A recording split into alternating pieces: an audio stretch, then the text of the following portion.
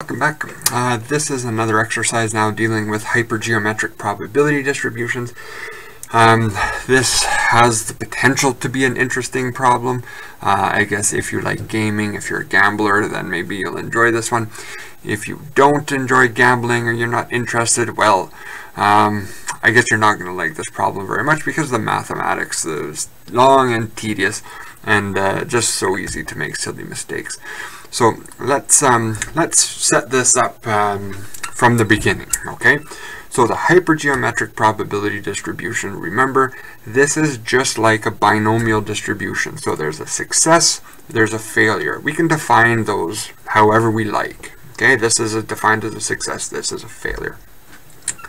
A, prob a, a binomial distribution, uh, the events were entirely independent. So if in you know the first trial I receive a success, that has no impact at all on the probability of a success in the second trial or second uh, period.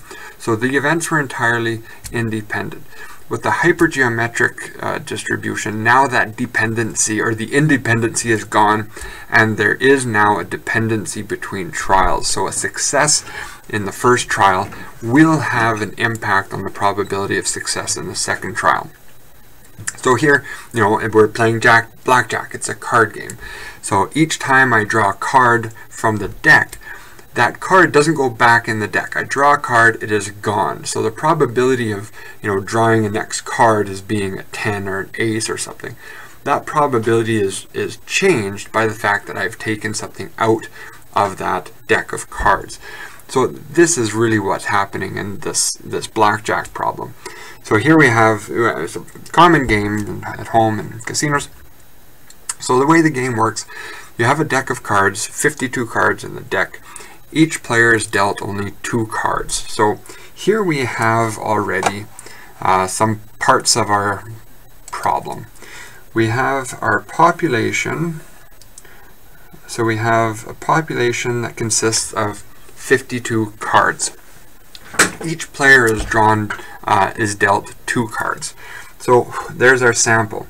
So we have a sample, n equals just two cards from that deck. So uh, we have face cards, jack, queens, and kings, and tens are all worth 10 points. Aces are 1 or 11. All other cards are scored at face value, so 1 through 9 are face value. The 52 card deck then contains 16 cards worth 10 and 4 aces. The best hand possible, called the blackjack, is 21 points, which would be one ace and one 10 point card.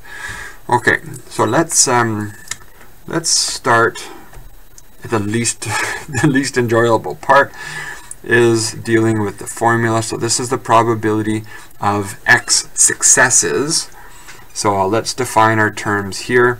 X is the number of successes, success in the sample. So this f of x gives us the probability of achieving x number of successes of a sample. And this is going to be r over x, where r is the is success, or the number of success in the population, population, uh, and then this is the number of failures, so n minus r and little n minus x. n is population size.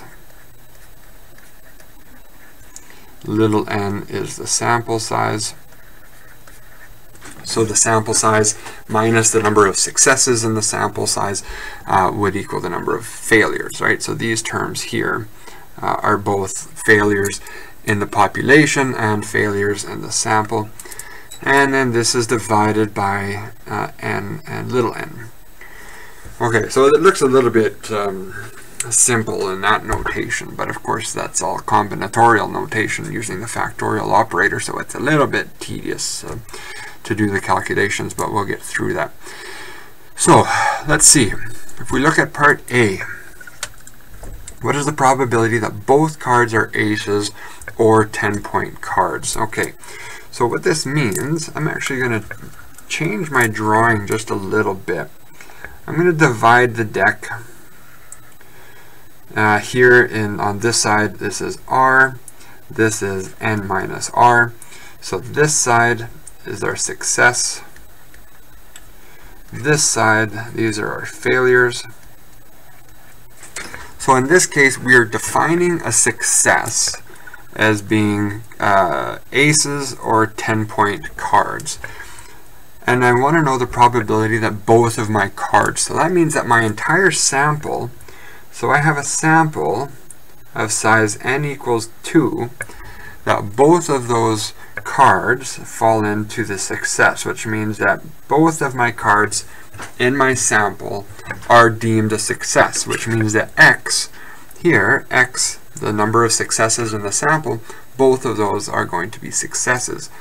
So R, in this case, well, I'm looking at the number of successes are aces and tens, so I have 16 tens and 4 aces, so R is equal to 20, n minus R, so this is 52 minus 20, so n minus r is 32 failures as we've defined it. Okay, those numbers will change as we progress. In my sample, no failures. So n, this is getting small, n minus x is equal to 0 because I don't want any failures. I want both of my cards to be defined as a success. Okay, so let's get into our calculations here. So the probability of two successes. So now I have R is equal to 20. So within, if within the population there exists 20 cards that qualify as a success, in my sample I want two of those cards to be, both of those cards to be a success.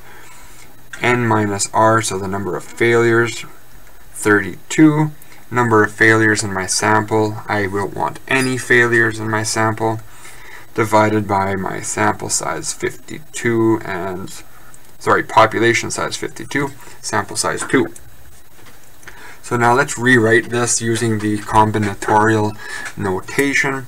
So this is going to be 20 factorial divided by 2 factorial times 18 factorial this is going to be uh, 32 factorial divided by 0 factorial and 32 factorial divided by, I'm going to run out of room, 52, maybe I can scroll up a little bit here, 52 factorial over 2 and 50.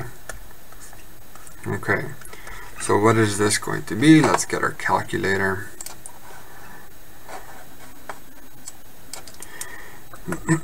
So let's calculate the first one. 20 factorial divided by 2 factorial times 18 factorial.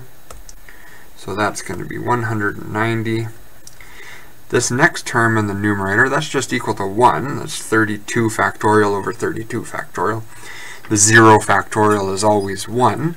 So that's 1 over 1. And our denominator, this denominator is going to be the same for all of our exercises, so we can only we only need to calculate this one once. 52 divided by uh, 2 factorial times 50 factorial 1326 and so our final answer for this probability is 190 divided by 1326 is 0.14. Let's keep it to four decimal places, so 1433. So there's a, call it a 14.3% chance that my two cards will both be defined as a success, which in this case means my two cards will be uh, either aces uh, tens or ace and tens. So we're really looking at kind of the, the, the, union of, of events. It's either tens, it's either aces, or it's either ace and ten. Okay, so those are all uh, our successes. The 14 and a third percent chance that our two cards that we draw are both deemed a success in this case. Okay, part B. What is the probability that both of the cards are aces? So uh, only a few things change in our calculation here. I'm going to only erase what's going to change. So here, this, let's, let's start fresh here and here and here. This will change up here. Uh, let's see, now our successes, oops, our successes is defined by just being an ace. And within that deck of cards, there's only four aces. So out of those 52 cards, a success means an ace, which in this case is only four. Our sample size hasn't changed. So down here where we have our n is equal to 2, we're still just drawing two cards, and I'm still interested in only successes, both of those cards being deemed a success, or in this case, uh, an ace.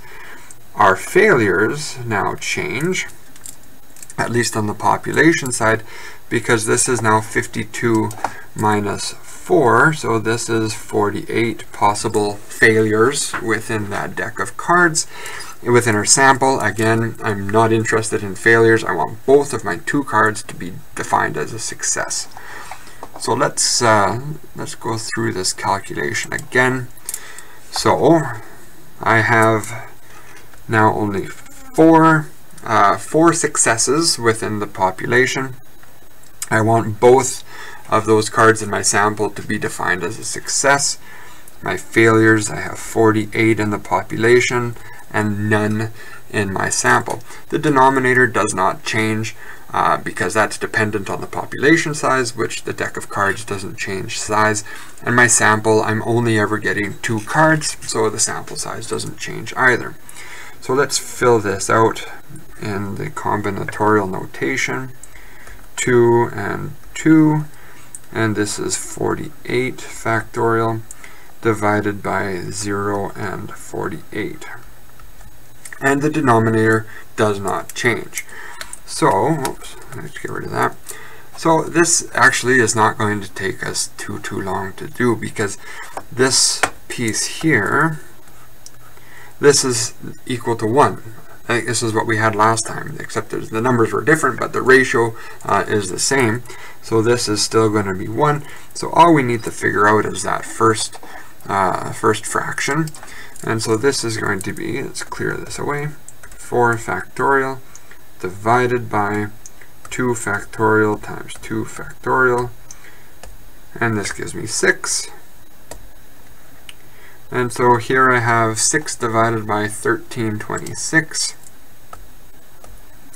1326.